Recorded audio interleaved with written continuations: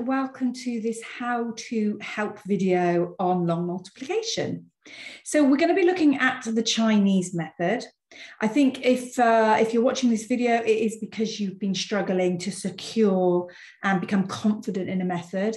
So when you are at that stage, you really want to just default, put all your energy into this method, and it will pay off. It absolutely will pay off. It will click, and you will just be really, really good at it. So the first thing with this method is the actual grid. So the grid itself looks like this, which looks complicated. So we're going to just talk through how you draw this. Now, obviously I've done that with a ruler. You can do it freehand. It doesn't all have to be beautifully straight lined. The only thing that you want to be trying to do is to get um, it to look like squares and not rectangles. Okay, so let me do a freehand and show you what it looks like. So the first thing that you do is you sort of draw out that main big square.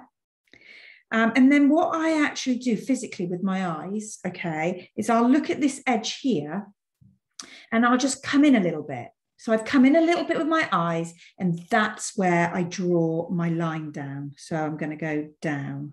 And then I do the same thing on the opposite side. So I look at this side, I'm going to come in a little bit, and then I'm going to draw a line down. I do the same with the top and the bottom. So I'm looking at the top, coming down a little bit, and that's where I'm going to draw my line and that's where I'm going to draw my line. So you can see they're not all the same size, but they look, look good enough as squares for this grid to actually work. Now, the next thing I must do is I must get my lines in, and this can easily go wrong, okay? So if I just draw a little square here for a sec, okay?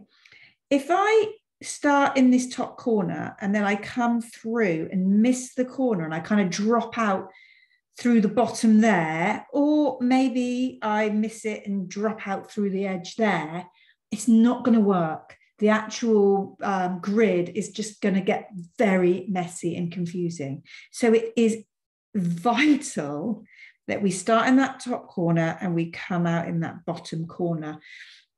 So, what I tend to do in my head as I'm drawing this is I'm literally saying corner to corner to corner over and over in my head. Uh, I tend to work backwards. So, I would do this one and then I'd go backwards through the grid. I mean, there's no rule, that's just my habit. So, I'm going corner to corner and then I extend that line a little bit. Corner to corner to corner corner to corner to corner. And you can see that my lines, where I'm having to go corner to corner, have got a bit of a wibble in them, especially this one here. You can see it really clearly. It kind of bends here so that you can go through that corner. That is fine. That will work. So don't worry about that.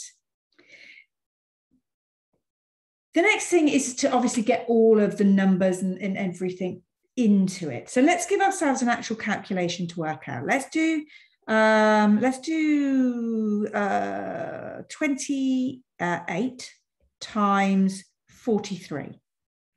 Okay, now I'm going to push everything up towards this corner. So the 23 is going to go along the top and the 40, uh, sorry, 23, it's 28, there we go. And 43 is going to go down the side. Now look where I've positioned this. The two is in the middle of this box. It's not here or here, it's slap bang in the middle. The eight's in the middle, the four's in the middle, the three is in the middle of those edges. That's where I want them. Because then I can clearly see that when I look at this square, I've got eight and four that feed, if you like, into it, which means it's eight times four, which is going to give me the calculation to put into that square. So I work out my eight times four, get to 32, and I pop it in.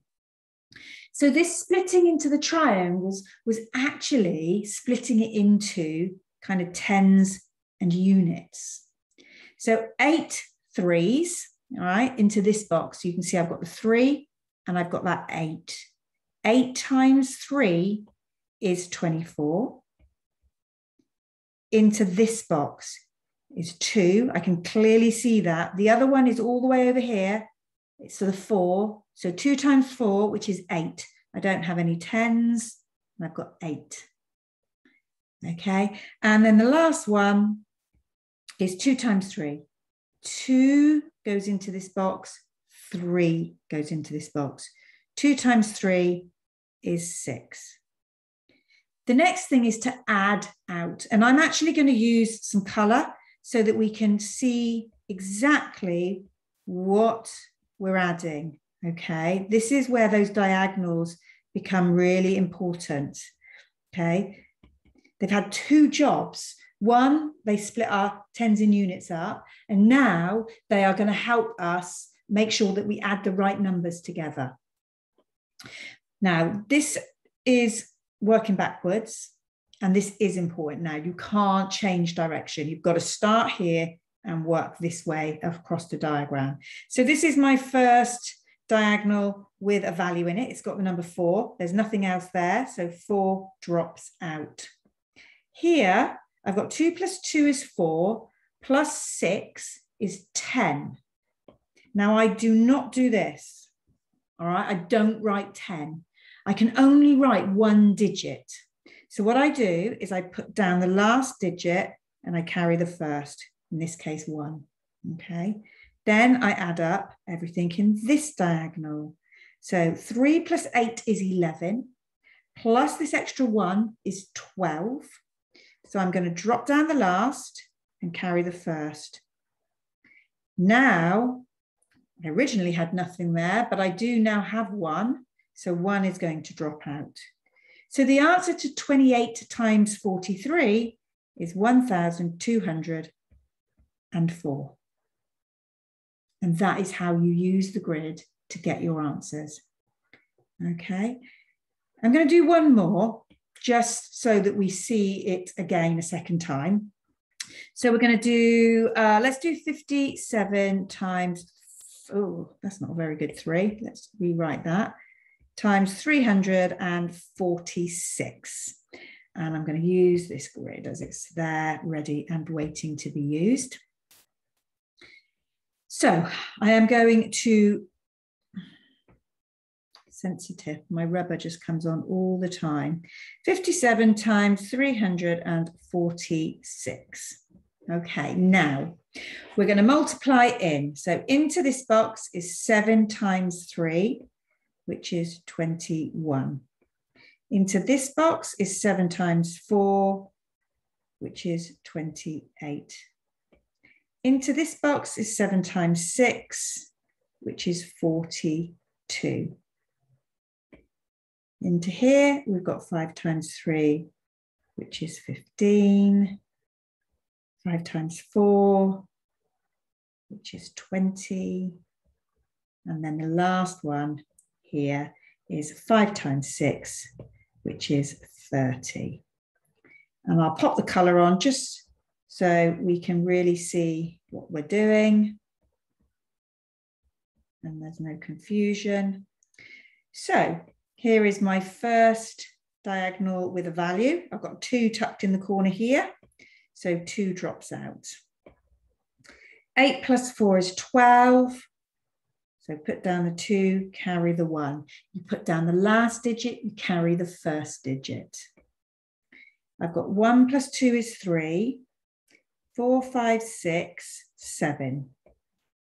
Oh, this rubber, honestly, it wants to come and rub my work out all the time.